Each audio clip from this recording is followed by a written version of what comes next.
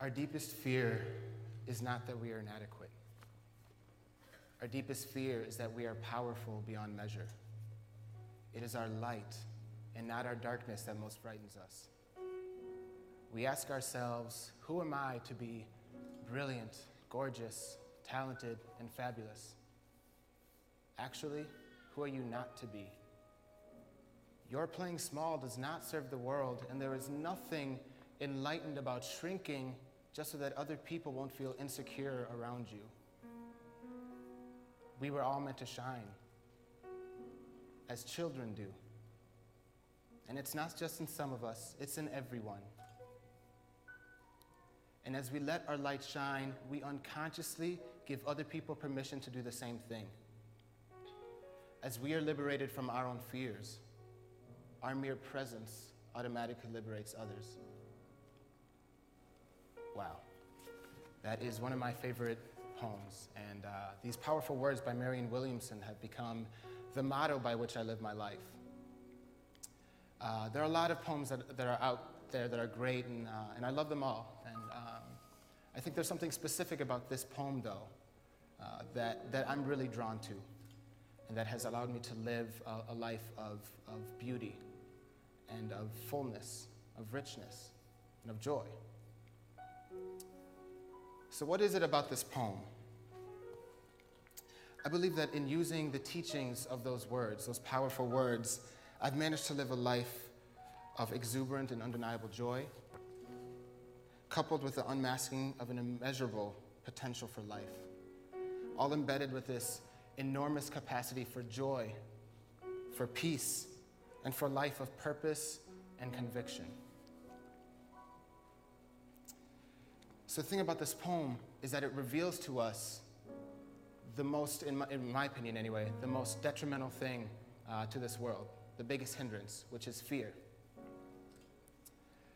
But it also, it also shows what, what, how to overcome this fear. And that's in, in, in the reflection of our youth and thinking about and learning from uh, those children who we often, um, at least mentally, in a way, dis- disregard or discredit, undermine. And they have so much power, and there's so much that they can teach us, as my story will help prove. Fear, frequently defined as to be afraid of, or to be scared of, or to be uneasy or apprehensive about, is in fact so much more. Though these words are certainly true, I think they ultimately undermine the definition um, of the word that they're trying to, uh, to define, as definitions so frequently do you can't really define fear. Fear is, is something that manifests itself in so many different ways in our lives. Um, and I think it's something that's largely been under, underlooked. Some might view fear in its most innate form as, as a beneficial thing. Um, and I actually I agree with this. Um, for one, we are human, therefore we are imperfect. We're going to feel fear. Uh, we're going to struggle. We're going to falter at times. Um, second, fear is, is somewhat of a natural guard that was provided us um, so that we can live a life free from these flagrant dangers in our lives. But the thing about fear is that it has this incredibly crippling tendency. We, as citizens of this world, particularly within a Western context, too often find ourselves paralyzed by fear. And don't just assume that you're exempt, because if you're human, then I guarantee you that at some point in your life, something has been dictated by a decision surrounding fear. And I know this to be true because in looking over my life, I spent 10 years in that stage. And I had no idea where I was.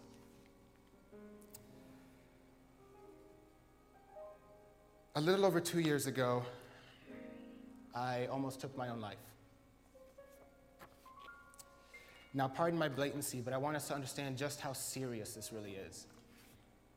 In 2009 alone, 37,000, just short of 37,000 people took their own lives, succeeded in taking their own lives. Furthermore, 1 million people every single year in the United States make the attempt. 1 million people. Just the mere thought of 1 million people feeling so depressed, feeling so down on their life because they're so controlled by fear, so lost, is painful. It's overwhelming. I lived in depression for almost a decade of my life. at least three of which were clinical. And keep in mind, I'm only 21 years old. That's half of my life controlled and dictated in almost all regards by fear. That's half my life dedica- or dictated by a mental state that was not my own. From cancer and divorce and evictions to homelessness and relative American poverty, my family and I have been through a lot. And though I know that this is not necessarily a unique story, unique to us, it is important to mention because it is these experiences, and it is a collection of these experiences that made me hate my life at an early age. I was so dictated by fear that I hated my condition, of uh, the condition I was living in. Although I did not hate my family, I frequently blamed them for the things, the misfortunes I'd been brought, brought upon in my life. I largely blamed them for the trials that we all endured. Worst of all, I hated myself in almost all regards. So much so that I isolated myself to this corner, became blindly unaware of the privileges and the blessings that I have, that we all have, that I still do, and pushed myself so far in fear that in a matter of minutes, a matter a few moments, my life was in a delicate balance of pills and water. And yet here I stand, two and a half years later, on the stage of TED with a thriving nonprofit organization that works around the world with orphans, working on two books, and living a life of conviction and passion and joy. I don't say these things to, to brag, but to prove that it wasn't until I understood the power that I had to overcome these things and that I was the only one standing in my way that I could get here, that I had the potential to get to this place. I was just so distracted by my own fears and my own self pity. And that's the awful thing about fear. It manifests itself in, in so many different ways. And I have some examples here. In fear, we choose anger and hatred over joy. We reject love because we're too afraid of eventually being hurt, or even worse, we're afraid of allowing ourselves to be happy for once. We inhibit the growth in our own lives by living only in comfort because we're too afraid of submitting ourselves to what's vulnerable. We choose vengeance and resentment over forgiveness, fearing that our surrender relinquishes us or to some kind of control of another human being. We choose pride over humility, pettiness over earnestness. We choose denial over acceptance and acknowledgement. We begin to live in a state of ignorance is bliss, if you will, whether or not we actually believe that statement to be true. Many young women, for example, battle with concepts of beauty, knowing but also fearing the fact that what is presented socially as beautiful is not even real. And in the meantime, missing the fact that there's so many beautiful parts to all of us, as this last talk delineated. And for the majority of young men, fear takes the form of anger, of lust, of violence, where we perpetuate these detrimental cycles of modern day culture simply because we fear the most intimate parts of ourselves. This is really about the self. The key to the world is looking into ourselves, understanding what we can do. But who can blame us? This is the way we're socialized. Our current situation, um, our current situation as, as, as a nation, as a society, as a culture, socializes us to feel this way and to believe these things to be true. But to sit here, to become aware of the power that we have, to acknowledge these things, and then not work to overcome that, that is on you. That is on the individual. Our past can inform who we are presently. But if we don't learn from our past and if we don't make our future better, then we only have ourselves to blame for that, though other things may inform it. As William states, uh, Williamson is the, is the author of that poem that I read. And as she states, Who are you not to be brilliant, gorgeous, talented, and fabulous? We were all meant to shine, and this is my favorite part, as children do. And I think that's often overlooked, but I think it's so beautiful, and I think it says a lot about the reason a lot of us are, are in this room. Rather ironically, despite the difficult life I've led, I was awakened to all this by the radiant smiles and the resilient eyes of the children who I admittedly, as a Westerner, expected at first to feel pity for and to change and better the lives of. But in reality, they completely flipped the script, and it was the exact opposite because these kids changed my life and bettered that forever. As famously stated by UNICEF, 21,000 children die every single day from preventable causes. The key word there being preventable, things that we can change, such as clean drinking water. The things that I saw on my 2009 trip to Ghana haunted me. They had bloated bellies and uh, bloated belly buttons from hernias and, and, uh, and stomach worms from unclean drinking water, for example. Many of them had large, large, festering wounds just open on their arms and legs. Three and four year old children. A few of the kids even had maggots literally break through the scalp and crawl out of their heads.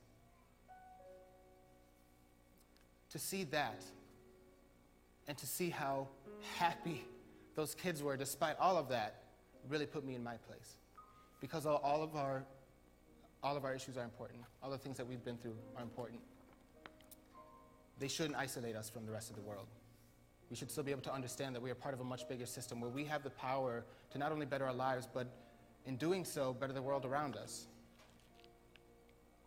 It was in those smiles that, even in the context of 10 years of depression, I managed to find joy even if only for six weeks. And it was in the lessons that they taught me that I now stand here, and I, found, I find this inner peace. Here are these kids who put my issues to shame, though no one's issues are more important than anyone else's. But if we were to play the comparison, who put my issues to shame? And yet they sit there and smile.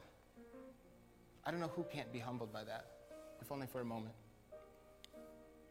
Howard Thurman once stated Don't ask what the world needs, Ask what makes you come alive and go do it. Because what the world needs is for people who have come alive. We are petrified. We are asleep, so numb to the world that we settle for glimpses of happiness instead of acknowledging our shortcomings, overcoming our fears, and demanding a permanent life of joy, something that cannot be stripped from us. And I don't just want to reiterate what's already been said so many times about the power we have to improve the quality of our lives and to make this world a better place because we already know that. We already know what we have to do. Yet we so often as a humanity fall short. I think this is because we're not focusing enough on ourselves in this, not in a selfish way, but in a way that's important to, be, to enable this capacity for change for the world. So, this is not a change the world type of talk. This is a wake up type of talk. What the world needs is people who are liberated from their fears, people who care so passionately about the, uh, about the world, and it's people that they cannot sleep at night and reflecting over their faces and their smiles and their eyes. And I believe we have those people. Those people exist here in this room. It's us in various, in various ways. But we cannot stand alone and we cannot do it on our own. We need all people to overcome this fear in their lives, to put them in a place and in a position where they can join all of us so that we can better the world.